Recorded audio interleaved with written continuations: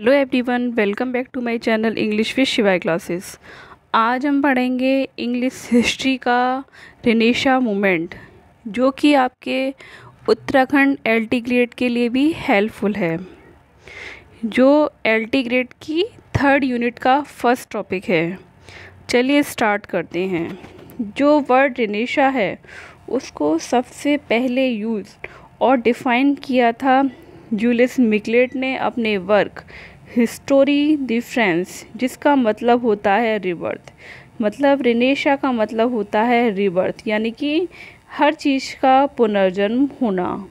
तो रिनेशा में जितने भी चीज़ थी, उनका फिर से एक तरीके से रिबर्थ यानी रिवाइवल नया जन्म हुआ था।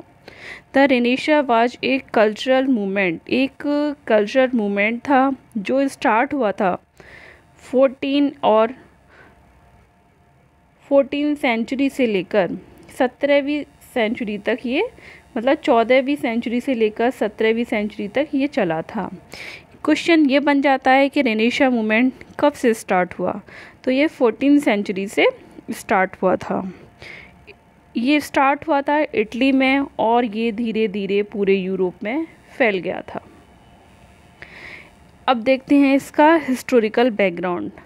Renaissance begin with the conquest of Constantinople by the Turks on May 29 1453 यानी जो रिनेशा है, वो शुरू हुआ था कॉन्स्टेंटिनोपल के कॉन्क्वेस्ट के साथ में और तुर्क के द्वारा। कब हुआ था? 29 मई, चौदह में। बाद में ये लोग इटली चले गए। जो तुर्क लोग थे वो इटली चले गए। दीज स्कॉलर, ये जो स्कॉलर थे, took their Greek and Roman books and literature with them. जब ये तुर्क से इटली गए तो अपने साथ साथ अपने ग्रीक के और रोमन बुक्स और लिटरेचर को भी अपने साथ ले गए।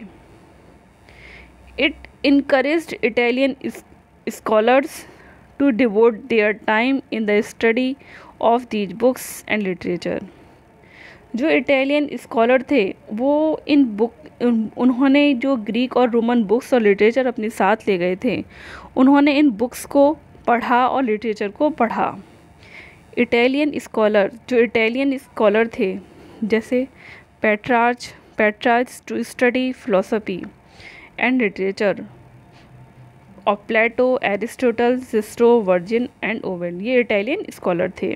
रेनेशा कवर थ्री एज जो रेनेशा मूवमेंट था, उसने तीन एजों को कवर्ड करा।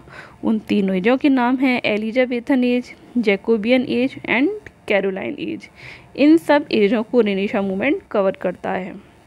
डेवलपमेंट ऑफ़ इंडिविजुअलिज्म जो रेनेशा मूवमेंट था, इसमें इंडिविजुअलिज्म का डेवलपमेंट हुआ। जो एवरी मैन वॉज़ फ्री हर कोई फ्री हो गया, जो वो चाहता था, वो कर सकता था। द रेनेशा पीरियड कल्टिवेट, जो रेनेशा पीरियड था, उसने कल्टिवेट किया, एक नया चेंज किया आर्ट में। नॉलेज में और कल्चर में एक नया चेंज किया। It change the way. इन्होंने जो रास्ता था, उसको चेंज किया। सिटीजन, सिटीजन्स की थॉट का जो रास्ता था, उसको चेंज किया। सबसे पहले उन्होंने रीडिस्कवरी की क्लासिकल फ़िलासफ़ी की लिटरेचर की और आर्ट की, जहाँ तक कि न्यू डिस्कवरी करी उन्होंने। ट्रैवल में इन्वेंशन में स्टाइल में उन्होंने न्यू इन्वेंशन किया। राइज ऑफ़ ह्यूमनिज्म ह्यूमनिज्म का राइज हुआ। ह्यूमनिज्म एम्फेसाइज ह्यूमनिज्म ज़ोर देता है that man is the centre of the universe humanism ये ज़ोर देता है कि जो मैन है, वो इस यूनिवर्स का सेंटर है। जो ह्यूमनिज्म डेवलप किया था, वो रोजर बेकर ने किया था। ये क्वेश्चन इम्पोर्टेंट है कि ह्यूमनिज्म का डेवलपमेंट किसने किया रोजर बेकर ने किया था। Growth of trade and commerce इसमें ट्रेड और कॉमर्स का ग्रोथ हुआ। ईस्ट और वेस्ट में जो सेट किया गया था रिनेशा में। रिनेशा जीनियस रिनेशा के जो जीनियस थे अब हम उनके बारे में डिस्कस करते हैं। इसमें फ़ेमस राइटर्स हुए साइंटिस्ट हुए और आर्टिस्ट हुए। लियोनार्डा द विंसी, ये एक इटालियन पेंटर थे। कौन थे एक Italian painter architect inventor and famous इनकी पेंटिंग का नाम था the Mona Lisa the last supper, ये इनकी फ़ेमस पेंटिंग थी। अगर ये क्वेश्चन ये बनता है कि द मोनालिसा और लास्ट सफ़र किसकी पेंटिंग है? लियोनार्डो द विंसी की। रेने डिस्कार्ड्स ये फ़ेमस ये एक फ़ेमस फ्रेंच फ़िलासफ़र थे और एक मैथमेटिश मैथमेटिशियन थे, जिनको याद किया जाता है as the father of modern philosophy जिनको मॉडर्न फ़िलासफ़ी के फादर के रूप में याद किया जाता है गैलीलियो ये इटालियन एस्ट्रोनॉमर और इंजीनियर थे Copernicus mathematician and astronomers Michelangelo इनको एक ट्रू रिनेशा के नाम से जाना जाता है। माइकलेंगो कौन थे? एक ट्रू रिनेशा थे। विंसी विंसी ने इन्वेंशन किया था। बैलेट डांस फॉर्म का विंसी ने इन्वेंशन किया था। ये क्वेश्चन भी इम्पोर्टेंट है कि जो डांस फॉर्म थी बैले डांस फॉर्म थी, उसका इन्वेंशन किसने किया था? विंसी ने। इसी तरह इस एज में हुए Dante, Petrarch, Shakespeare, Chaucer, Raphael etcetera ये था रेनेशा मूवमेंट इसके बारे में हमने डिस्कस किया। आई होप आपको वीडियो अच्छी लगी हो। और आपको वीडियो अच्छी लगी हो तो लाइक कीजिए, शेयर कीजिए एंड सब्सक्राइब कीजिए।